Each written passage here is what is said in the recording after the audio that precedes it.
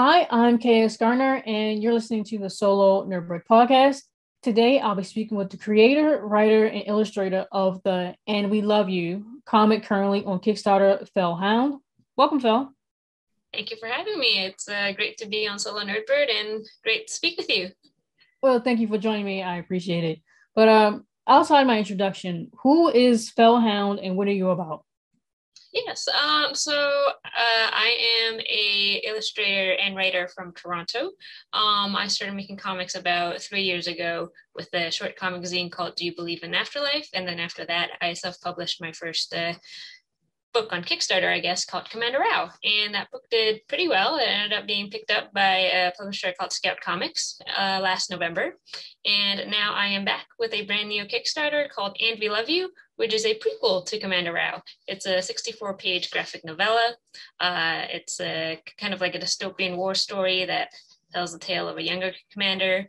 And that's currently on Kickstarter right now. I believe we have about, by the time this releases, it'll probably be closer to the end but at the time of me speaking, we have about eight days left.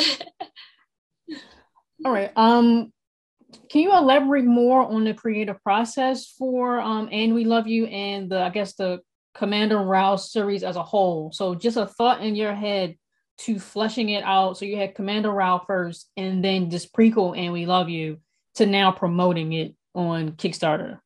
Mm-hmm. So, uh, Commander Rao was, um, I think, self-published in 2020. Uh, it actually started off as just kind of a practice comic.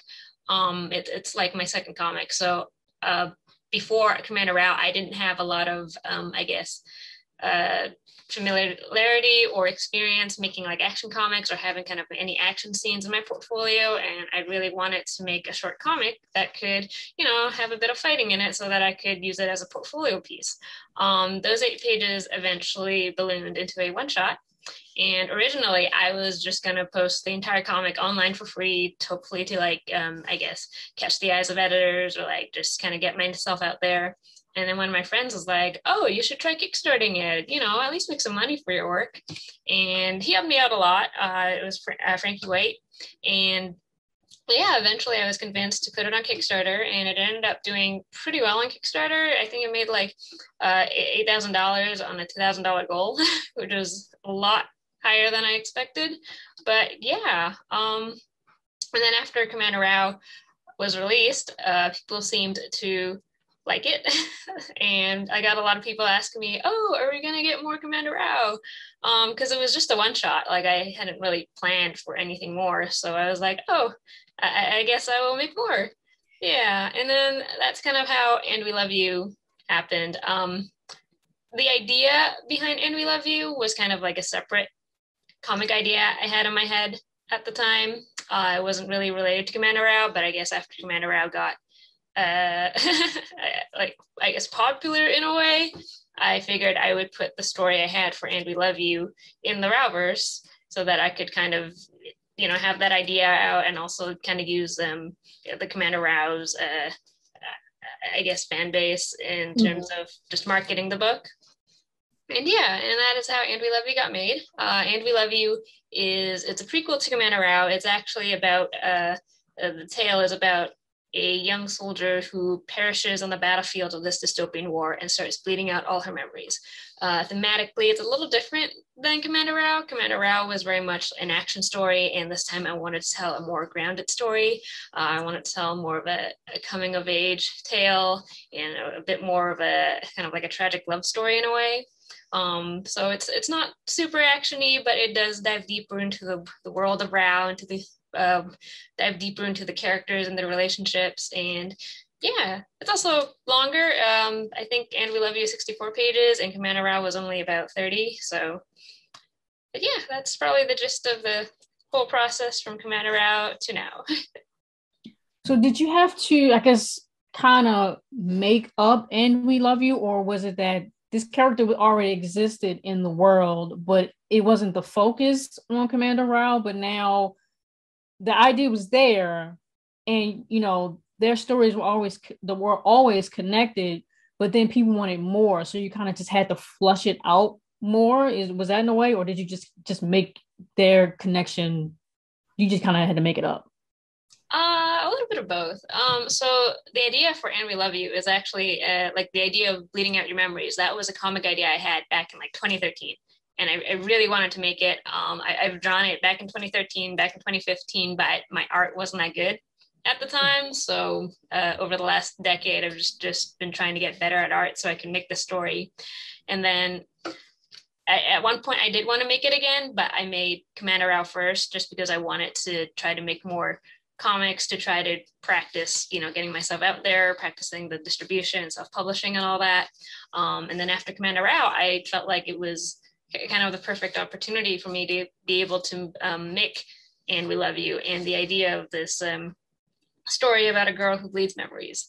Um, and originally as i said they were kind of two separate ideas but i decided to combine them because both of the ideas i realized ended up being in dystopian war worlds anyway so it was just kind of easy to just combine the two and put them together. And i felt like by just having both stories in the same world it kind of helps me on, I guess, like a marketing front, because then, yeah, yeah, because then I can expand on the world that I already have and expand on the, I guess, fan base that I already have. And people kept on wanting more Commander Rao, so it was just like kind of like a mix of both worlds for me, being able to like have more Commander Rao content, but being able to like make the story that I've been wanting to make for the past decade. Yeah, that's pretty cool. Um, how difficult was world building for you? How did you manage to create a world that is totally your own and integrate your influences if there were any into it, but maintain at the same time and we love you and the Commander Rao series as yours that's in your world and not someone else's. Mm-hmm. Um, so to be honest, uh, when I make Commander Rao, uh, the one shot, I had very minimal world building. It was mostly made around things that I wanted to draw or things that I didn't want to draw. So I really loved to draw like armors and sci-fi and tanks and stuff. So when making the comic, I was like, oh, what would be what would make like a, a cool action comic? Uh, well, I'm gonna have this this badass lady in armor because I like to draw badass ladies in armor. And then you know I, I gave her grappling hooks because um, I wanted the fight scenes to have some verticality to it. So I'm like, okay, it's going to be a badass lady with grappling hooks. And then when I was coloring Commander Rao, um, I realized that the entire comic took place in nighttime, and it was really hard to kind of see uh, where things or like where the character was going. So I decided I would give her rocket boots so you can actually see her movements. So I guess little bits like that kind of um, influenced the world and influenced the character design. Um, but the overall bigger story of Commander Rao was kind of built retroactively after Commander Rao's success, and people were like, "Oh, we want more," and I was like, "Oh, I should probably flesh out the world more so I know what I'm doing." um, so yeah, a lot of it was kind of. I don't want to say I was winging it, but I was kind of winging it a bit, um, taking a lot of inspiration from, I guess, like Commander Rao universe has a lot of inspiration from the French Revolution, World War II, uh, bits of uh, the Fallout series, and bits of BattleTech, and just kind of putting all of those into my own dystopian sci-fi world. That's also kind of influenced by uh, moments in history. Mm-hmm. So, how was your experience searching for your collaborators, like your letterer and your logo designer and the editor? Like, how like how was that journey? How was that experience? And how did you know that they were right for this job? Hmm. so for uh, my first book commander rao uh, uh, letter squids was the letter for that book. And i've always been a big fan of letter squids work. Um, he has like a very bold a very loud style. He he likes to do a, a lot of really cool like ux design stuff. So like I, I, knew off the bat that he was the one person that I really, really want to work with. And he made Commander Rao absolutely shine. Like he has such a, a wonderful, bold, loud lettering style that you don't see super often. So I, I, I loved collaborating with him. Like he is such a, an incredible designer. Um, unfortunately, due to some uh, scheduling conflicts, uh, Letter Squids couldn't return for And We Love You. So uh, And We Love You is actually lettered by Lucas Gattoni. Um, and pretty much how I found him was that uh, I made a thread on Twitter being like, hey, I'm looking for letterers. Uh, drop your kind of portfolio below. And yeah, I saw Lucas's work and I was kind of really impressed. He has like really cool SF, I like sound effects work, and I was just looking through his portfolio, and I was like, this stuff is really good. Um, he also did the logo for another anthology that I was an editor in. It was called The Color of Always. It was a queer love anthology, and I loved the logo that he'd made for it. So I was like, okay, I'm gonna get this guy to letter my comic. Um, and the logo for And We Love You was actually uh, designed by another person called Winston Gambro. Uh, pretty much some of my friends were making comics and they hired him to do some logos. I was super impressed. So I was like, oh, I'm going to get this guy to uh, make a logo for And We Love You. And then my editor, Frankee, uh, so he's actually a really good friend of mine. Um, he wrote a series called Broken Bear, and he wrote another series called Twenty Fists. And I am a massive fan of his work. Uh, I, I think he's a fabulous writer, and we kind of have, I guess, the, the same love of brevity in our comics. Like we don't like super duper wordy comics, and I felt like that he was like he was someone that I could, uh, I guess, vibe with when it comes to writing style. So I wanted him on board as my editor. And then uh, Ricky Lima, he's also another really good friend of mine. He's actually helping me out with the production aspect of of the book because I, I'm not like super knowledgeable about printing and Ricky is. So I've, I've partnered with him to make sure that we get a, a really nice printed book and that the bleeds and the margins are going to look great. Okay, so what advice would you offer to other artists that you wish someone would have told you when you first started? So it could be when you first started in comics, it could be when you first started, you know, you, the first Kickstarter that you had. It can pretty much be in, in anything, but you wish somebody would have told you when you first started. Um, I, I think my biggest point is that if you, want to get into comics or if you just want to, you know, do any kind of art stuff, I think the biggest thing I could uh, give advice on is to always kind of draw what you love. Um, I, I think there's always a, a bit of pressure to see, you know, if like people are drawing popular fan art and a lot of people say that you like have to draw fan art in order to you know get some traction online but if you don't love to draw fan art or if there's like something that you don't love to draw and you force yourself to draw it just to i guess hopefully gain an audience i feel like that's the quickest way to burn yourself out.